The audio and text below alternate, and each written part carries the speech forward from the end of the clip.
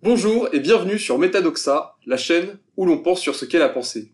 Aujourd'hui, j'ai envie de vous parler des cordonniers mal chaussés, c'est-à-dire de toutes ces personnes qui euh, ont eu le, courage euh, de, se présenter devant des gens et de leur euh, proposer une transmission, un enseignement, un retour d'expérience, d'essayer en fait de les amener d'un certain état à un certain autre état. ces gens sont ce qu'on pourrait appeler des maîtres, des guides, des coachs, des enseignants, des professeurs, et tout un secteur comme ça qui se développe sur internet depuis un moment déjà. Vous pouvez les trouver aussi dans les TED Talks, dans toutes sortes de présentations, ils vendent des séminaires, des formations, euh, des PDF privés, euh, des séances de, coaching en ligne. C'est toutes ces personnes qui, à un moment, décident de prendre une posture d'accompagnant, de sachant, de personnes qui ont de l'avance sur l'endroit où vous souhaitez aller. Et euh, il y a bien une chose qui me paraît assez générale dans ce milieu-là, c'est ce constat, cette, cette impression qui en tout cas est souvent vécue par les personnes qui bénéficient de ce genre de service, c'est ce constat que définitivement les personnes qui transmettent quelque chose sont euh, rarement, et même très rarement, et j'oserais même dire probablement jamais complètement, à la hauteur de ce qu'elles prétendent transmettre. Et c'est une chose sur laquelle je suis déjà en réflexion depuis un, moment. Je suis d'autant plus en réflexion que quelque part, j'assume de plus en plus euh, une posture euh, d'enseignant, de guide. En tout cas, je, je suis dans ce cheminement-là. Et donc je me questionne de plus en plus sur mais qu'est-ce qui fait que les cordonniers sont toujours aussi mal chaussés? Et est-ce que c'est possible en fait de, d'être un cordonnier bien chaussé. Je dois dire qu'avec le temps, j'en arrive de plus en plus au constat que à un endroit c'est probablement impossible et je pense que c'est en réalité quelque chose qui s'explique tout à fait, quelque chose qui quelque part est dans la nature en fait du j'oserais employer les grands mots dans dans la nature du fonctionnement de l'univers, dans la nature du fonctionnement fondamental des choses et je pense qu'en réalité d'une certaine façon, c'est très bien que les choses se passent comme ça. Et pour ceux qui auraient eu des mauvaises expériences avec un certain nombre de personnes qui leur ont servi à un moment ou un autre de guide, d'enseignant, etc., euh, j'ai envie de faire un retour d'expérience et euh, de leur permettre d'y voir un peu plus clair sur qu'est-ce qui s'est passé, qu'est-ce qui se passe, qu'est-ce qui se passera encore, et comment quelque part euh, tirer le meilleur de finalement leurs mauvaises expériences. J'ai une théorie en fait dont j'avais déjà parlé il y a quelques temps, et qui est que globalement pour traiter et dépasser un problème quelconque. Euh, je sais pas, moi, par exemple, je, ne sais pas comment euh, comment euh, séduire une femme, être en couple, je sais pas comment m'occuper de mes enfants, je sais pas comment comment réussir telles ou telles études, avoir tel ou tel travail. En fait, dès que vous êtes en train d'essayer d'avancer sur un problème, je ne sais pas gérer ma colère, je sais pas quoi faire de ma colère. En fait, dès que vous êtes dans ce type de cheminement, vous allez, à mon avis, nécessairement passer par trois étapes. Euh, ce que je résumais avec la, métaphore de Nietzsche par euh, l'étape euh, du chameau, l'étape du lion et l'étape de l'enfant. Mais qu'on pourrait aussi appeler l'étape du avec, l'étape du contre et l'étape du en dehors. Il y a toujours cette logique ternaire, cette logique de, de trois. En fait, c'est le principe de base est très très simple. C'est-à-dire qu'au début, on a une certaine vision sur le monde, une certaine narration sur le monde, une certaine narration sur nous-mêmes, euh, un certain niveau de compétence aussi. Enfin, on vit dans une forme de, matrice, de filtre, euh, où globalement, entre guillemets, tout va bien. En fait, c'est un tout va bien qui se base sur une inconscience d'un certain nombre de choses qui sont en dehors de notre filtre. on vit dans ce filtre comme ça, et pour le moment, tout va bien on a peut-être quelques, quelques intuitions, quelques, quelque chose qui nous chiffonne, qui nous chagrine, mais globalement, on, ne voit pas vraiment la possibilité d'autre chose, quoi. Puis, à un moment, il y a une réalisation plus importante que les autres, il y a un bug, il y a quelque chose qui fait que on va avoir le sentiment que euh, on pourrait faire mieux, que on s'est fait qu'il y a un problème, que euh, des gens se sont mal comportés avec nous, bref, on réalise qu'il y a un truc qui ne va plus. Et donc là, on passe dans la phase, la phase contre, la phase où on se construit en opposition. Et moi, par exemple, j'ai très bien pu voir ça euh, dans, dans le milieu politique, dans le militantisme. En fait, très souvent, les, les militants sont des gens euh, qui, à un moment dans leur vie, se sont euh, construits contre quelque chose, euh, ont réalisé qu'il y avait un problème dans leur vie, dans leur entourage, dans la société en général. Et le militantisme, en fait, est une façon de vivre et d'entretenir ce conflit et de trouver des solutions, mais dans une forme d'opposition. D'où c'est dans, dans, le, dans les milieux de gauche, c'est très, il y a beaucoup ce discours de, de, la lutte en fait. De, de, il faut lutter contre quelque chose, il faut lutter contre un système, il faut lutter contre les classes sociales, etc. Mais on peut aussi le trouver, on peut aussi le trouver à droite. En fait, ce qui est, ce qui est intéressant, c'est que dans cette phase du contre, euh, pour moi, cette phase du contre correspond toujours à ce que j'appellerais la déconstruction telle qu'elle a été décrite par le penseur Jacques Derrida. Et, euh, ce qui est assez rigolo, par exemple, c'est que moi, j'ai, moi, j'ai un bon exemple de droite pour le coup par rapport à ça. C'est-à-dire que euh, dès que euh, dès qu'on remet des en question des choses dans notre vie, on fait de la déconstruction sans le savoir. C'est-à-dire que moi, par exemple, c'est un truc dont j'ai déjà parlé, mais j'ai eu une période où je me disais féministe, et puis j'ai eu une période où j'ai remis des choses euh, en question par rapport aux féministes, et où je me suis plutôt considéré comme antiféministe. Et du coup, les, les gens que j'ai fréquentés et les milieux sociaux que j'ai fréquentés entre ces deux périodes ont évolué. Et euh, moi, ce, que, ce dont je me suis rendu compte, c'est que dans, dans des milieux d'hommes qui s'opposaient pas mal au féminisme, c'était des hommes qui avaient un discours et une attitude qui correspondaient à, de la déconstruction, en fait au sens de Derrida, même s'ils auraient été sans doute les premiers à renier ce type de pensée, mais concrètement, il y avait une forme d'inversion des valeurs, une forme d'inversion. C'est-à-dire que les femmes qui avant étaient vues comme dominées, opprimées, euh, d'un seul coup, elles étaient vues comme des dominantes et, euh, des oppresseuses. Euh, les valeurs qui, qui, étaient valorisées avant comme, disons, une forme de, de, de, gentillesse, de politesse, d'amabilité, de de pas trop euh, de pas trop être conflictuel. Ben d'un coup c'était renversé. En fait ce qui de ce qui devenait valorisé c'était une forme d'assertivité de virilité de, de, valeurs plus masculines disons qui était vu comme permettant de se défendre soi de défendre les autres euh, d'être d'être un moteur d'action de pas se laisser marcher sur les pieds. Et en fait on, peut le voir, on peut le voir aussi beaucoup. C'est fascinant dans le discours des men right activistes, par exemple. C'est peu développé en France, mais il y a eu un reportage comme ça qui s'appelait euh, euh, The Red Pill, qui a été tourné il y a quelques années, et où en fait on, écoute les discours de ces gens, et finalement ils reprennent euh, tous les arguments qui consistent à montrer que les femmes sont dominées. En fait, ils les retournent et ils montrent d'autres facettes des choses euh, pour montrer qu'en fait c'est euh, c'est les hommes qui sont dominés, qui sont plus victimes euh, d'accidents de travail, qui sont plus agressés dans la rue, etc., etc.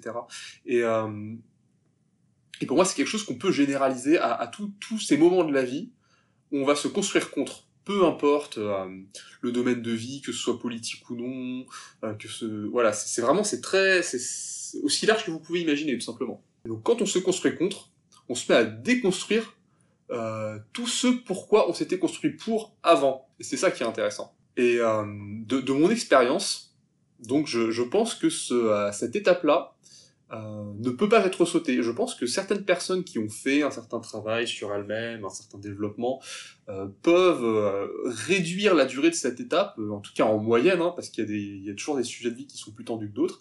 Et j'observe qu'il peut y avoir une réduction de la durée de cette étape au bout d'un certain temps, mais globalement, cette étape aura toujours lieu. Et quand cette étape est passée, c'est seulement au bout du deuxième essai qu'on règle réellement notre problème, le problème qu'on essayait de traiter depuis le départ. Et euh, ça, c'est très important de le comprendre, parce que généralement, quand on a un problème, en fait, on veut le, on veut le résoudre tout de suite. Et quand on commence à se construire contre, on se, on se raconte en fait qu'on est déjà sorti du problème, qu'on a déjà trouvé la solution. Et euh, le truc, c'est que euh, se construire contre, c'est très bien lorsque c'est temporaire, et ça devient extrêmement euh, nuisible, toxique, et ça peut créer euh, des problèmes assez, assez lourds, parfois plus lourds que, que la situation de départ, euh, quand on reste enfermé dedans, qu'on se construit là-dedans, et qu'on n'arrive pas à voir ce qui vient après. Et beaucoup de gens, en fait, sont, sont coincés comme ça dans, dans des formes d'opposition, et, euh, et n'arrivent pas à en sortir. Et donc je dis qu'en réalité on ne règle réellement nos problèmes qu'au bout de la deuxième fois, parce que la deuxième fois, on rentre dans cette phase qui n'est plus pour, qui n'est plus contre, mais qui est en dehors, à côté, même pas forcément sans, parce que sans, sans c'est déjà trop contre en fait. C'est euh,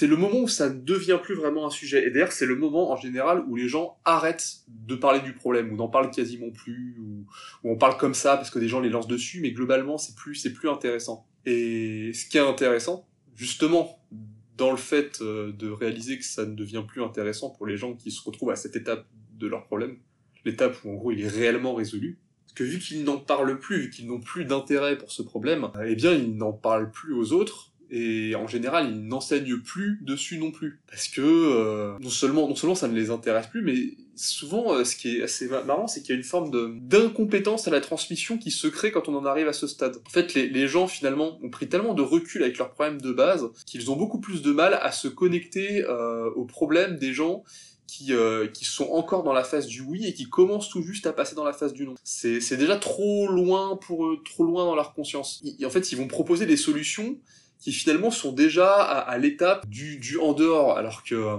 alors qu'en termes de développement euh, personnel, de, développement égotique et tout, les, gens ont, d'abord besoin de se construire contre. donc c'est là où en fait il y a, y a un décalage qui est trop important et il y a une transmission qui ne se fait pas. Et donc du coup, là vous allez comprendre pourquoi est-ce que je parlais des cordonniers mal chaussés, pourquoi je dis qu'à un endroit c'est c'est un peu euh, les cordonniers les cordonniers ne peuvent être que mal chaussés, bah, c'est parce que concrètement, on ne peut réellement bien transmettre quelque chose que si on est bien intégré dans l'étape juste après les personnes à qui on veut enseigner, les personnes à qui on veut transmettre. Si on est à deux étapes, ça marchera pas, ou très mal. Donc concrètement, vous êtes là, vous avez un problème, et vous allez avoir besoin de deux étapes pour régler votre problème. Et à qui est-ce que vous allez vous adresser pour régler votre... pour en tout cas être accompagné dans le fait de régler votre problème? Vous n'allez pas vous adresser à des gens qui l'ont réglé. Vous allez vous adresser à des gens qui sont en train de le régler en se construisant contre. Et là, ça va être tous vos gourous, coachs, euh, enseignants, guides et tout ce que vous voulez. Et évidemment moi-même.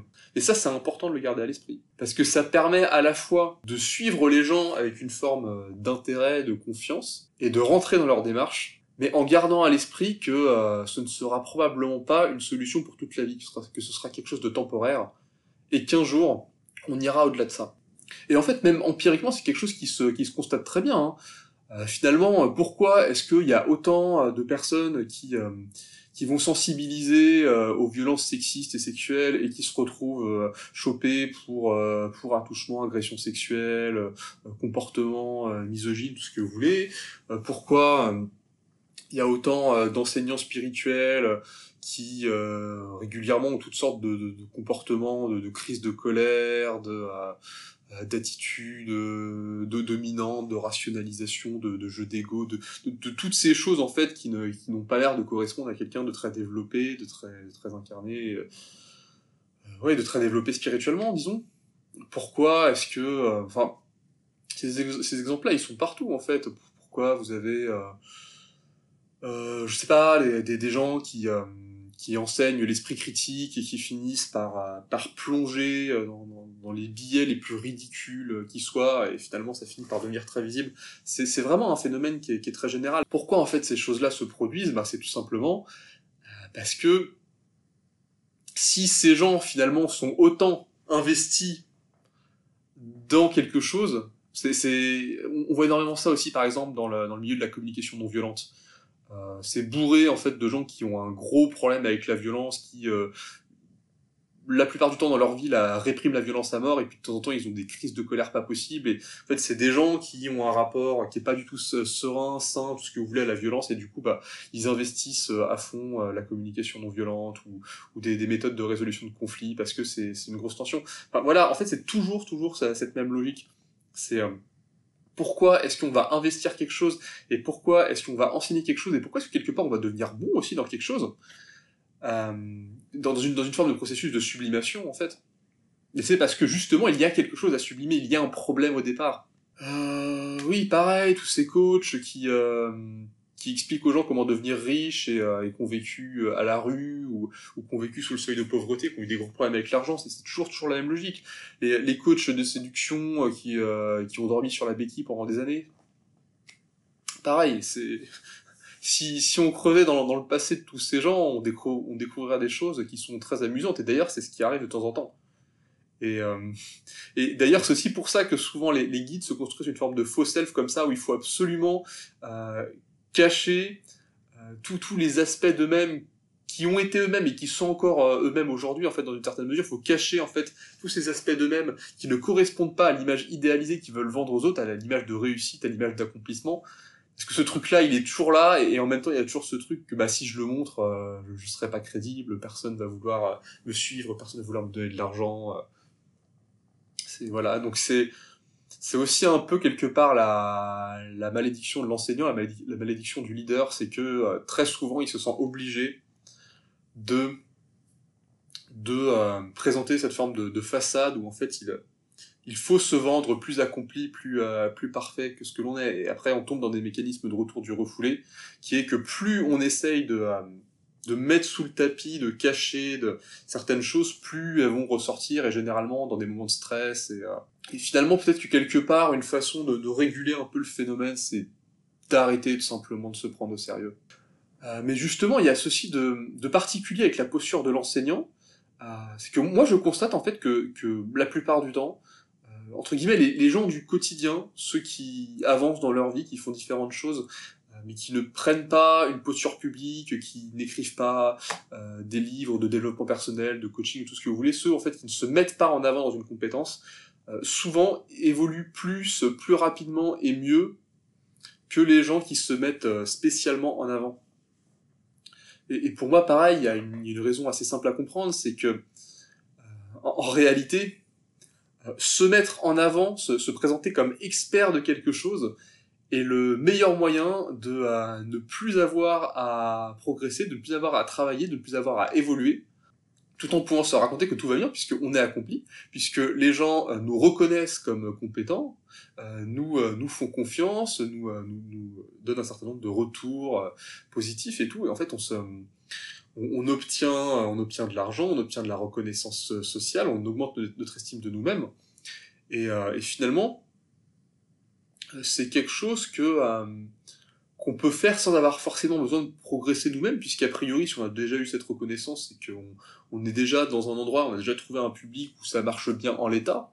Et il y a même un, autre phénomène derrière, c'est qu'en fait, plus plus notre système va fonctionner, plus on va avoir du monde et tout, euh, plus les gens en fait ils sont en attente de euh, en fait, ils arrivent pour quelque chose, mais en fait, ils veulent avoir toujours la même chose.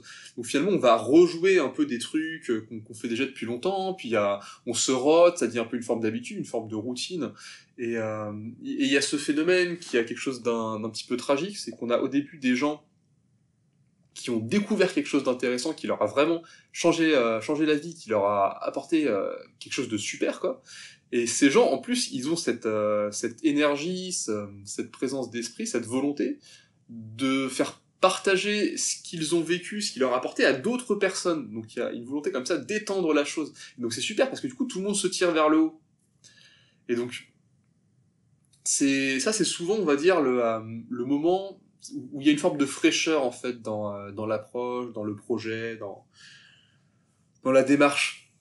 Donc on, on, a une étape comme ça où la, la, la communauté se construit, où, euh, où, les, où les contenus sont frais, où il y a comme ça. Il y, a, une ambiance très très positive, il y a une croissance comme ça, et il y a un peu une sorte de cycle de vie en fait des, euh, des enseignements. Donc quand cette phase de croissance atteint un certain seuil, donc les choses commencent à s'instituer, et puis euh, donc il y a une forme de, de, confort qui se met en place, et très progressivement, et ça peut être assez insidieux, très progressivement, euh, on commence par se réunir pour avancer sur un problème, et puis bah en fait le truc c'est que quand on avance sur un problème, au bout d'un moment, on finit par passer des étapes. Donc ça finit par, aller mieux, on finit par, par réussir à dépasser certaines choses. Et donc à un moment, la question euh, finit par se poser de mais euh, qu'est-ce qu'on fait encore ici? Pourquoi ce groupe existe encore? Qu'est-ce qu'on est en train de faire ensemble? Mais quand il y a tous ces bénéfices secondaires en termes de euh, reconnaissance sociale, de lien social, euh, d'argent, de soutien psychologique, de, des routines qui se sont mises en place, bah, ce truc-là, on a envie de, on a envie de l'instituer. Puis il y a aussi un peu une forme de nostalgie du début. On se dit ouais, c'était tellement génial au début. Euh, là, j'ai l'impression que c'est, voilà, ça devient, ça devient un peu moins nouveau, un peu plus habituel. Mais j'aimerais retrouver cette magie du début. Et il y a toujours cette idée que euh, peut-être qu'il y a encore quelque chose à, à, aller chercher, encore quelque chose à aller gratter. Peut-être qu'il y a encore moyen de retrouver cette sensation perdue, cette exaltation du début. Et en général, bah, c'est pas le cas. En fait, pour que ce soit le cas, il faudrait que le système se renouvelle. Euh, si le système se, se renouvelait, bah déjà, ça implique de replonger dans une forme d'insécurité, et ça implique aussi de euh, laisser sur le côté un certain nombre de nouveaux arrivants qui, euh, eux, viennent, viennent bien pour profiter de ce, ce cette impulsion, cette, euh, cette émulsion, cette, cette, découverte du début que eux, ils n'ont pas encore vraiment vécu. Et, et d'ailleurs, qu'ils vivront peut-être moins que les, que les premiers, parce que le, le truc est déjà devenu un peu plus euh, plan-plan, mais en tout cas, eux, ils sont encore là-dedans, et eux, ils ont encore besoin de ça. Donc ça veut dire que si on veut évoluer, euh, on retombe dans la sécurité, on retombe dans une forme de, de, chaos, on sait plus trop si on va avoir autant de reconnaissance, autant, autant d'argent et tout. Euh, les gens qui suivent le système, ils savent pas trop euh, non plus où est-ce que ça va les mener si ça les intéresse encore. Et en plus, on va larguer des gens. Enfin, c'est euh, compliqué, quoi. C'est compliqué d'évoluer.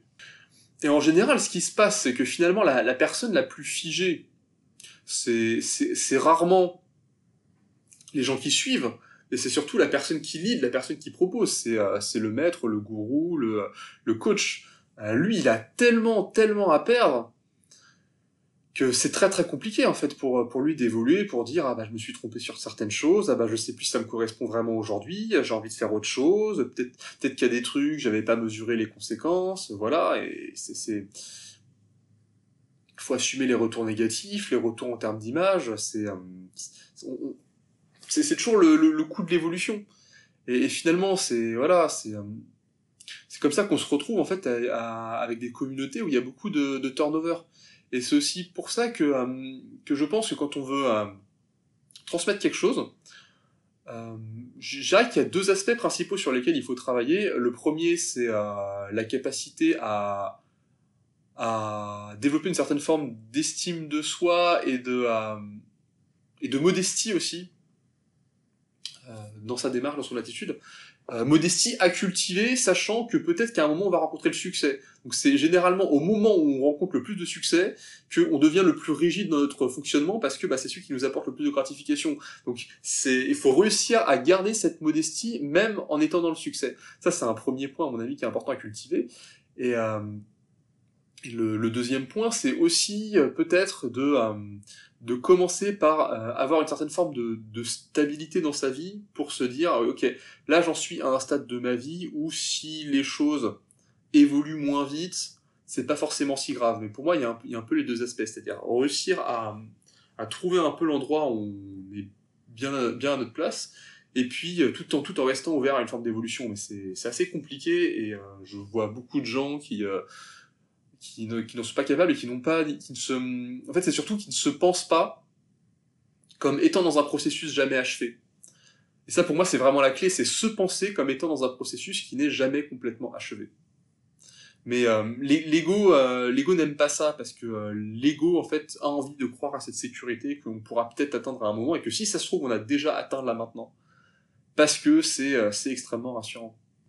Il y a aussi une chose très importante à noter dans ce système de pour euh, et, en dehors, c'est que c'est pas euh, quelque chose qui se vit une fois et c'est pas quelque chose qui est linéaire, unidimensionnel et tout ce que vous voulez.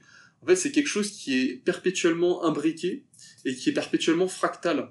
C'est-à-dire que c'est des choses, c'est un principe que vous pouvez vivre euh, en, l'espace de, quelques heures, et c'est aussi un principe que vous pouvez vivre sur plusieurs années. Et en fait, vous, allez avoir plein de problèmes, de tensions, de difficultés dans votre vie, qui vont suivre ce système-là et qui sont imbriqués les unes dans les autres, qui sont des plus ou moins euh, petits ou gros problèmes. Et ce qu'il faut bien comprendre, c'est que euh, la, la, phase en dehors par rapport à un certain problème, euh, en fait, ça, ça va aussi être la phase contre par rapport à un autre problème. Et c'est perpétuellement imbriqué comme ça. Euh, D'où justement ce principe de euh, on enseigne bien que quand on est à un niveau par rapport à ceux à qui on enseigne, et pas plus et pas moins. Et, euh, et ce principe de euh, on réussit bien que la deuxième fois, mais en fait c'est continuel quoi. Et donc on se rend compte qu'il n'y a, a, jamais réellement de, de, de, stabilité, de choses fixes, de choses, de choses tangibles. Et je trouve que quand on, comprend finalement cette logique générale, il y a aussi quelque chose qui est assez, euh, assez rassurant et qui pousse à l'action, même si j'ai pu faire un certain nombre de, de mises en garde qui, qui pourraient avoir tendance à, à réprimer l'action et ça je sais que c'est un peu une tendance que je peux avoir et euh, qui fait partie de choses pareillement sur lesquelles je suis en travail et que j'ai pas forcément complètement intégré. Mais euh, j'aimerais j'aimerais un peu euh, euh, relativiser et déconstruire justement ce, ce, truc là en disant bah concrètement euh, si si le meilleur moment pour enseigner à des gens c'est le moment où on est juste où on est juste à un niveau par rapport à eux et où en gros on va dire attention, c'est pareil, vaut, vaut, mieux pas être trop avancé dans le, dans le niveau non plus, parce qu'en fait, il y a un stade où, euh, on risque de déjà commencer à sortir du truc et, de plus pouvoir l'enseigner correctement. En général, c'est genre faut que faut qu'on ait passé le truc, mais il y a pas trop longtemps, genre il y a quelques mois, faut que ce soit encore un peu frais et, et pas encore euh, trop trop euh, trop trop stable. Donc quand on est vraiment dans ce dans ce moment, bah, en fait, c'est le meilleur moment pour transmettre. Et le truc, c'est que si vous regardez bien dans votre vie, vous êtes euh, quasi obligatoirement euh, à ce moment précis, au moins dans un, deux, trois domaines, quoi. Et donc simplement, avoir une forme de lucidité sur où est-ce que vous en êtes à un, moment T, et à qui est-ce que vous pourriez vous adresser. Mais du coup, euh, et moi c'est quelque chose qui personnellement m'aide pas mal, en tout cas en ce moment, toujours dans cette même logique, hein je, vous le transmets parce que peut-être que justement je suis au bon moment pour le transmettre. Je m'applique à moi-même mes propres principes.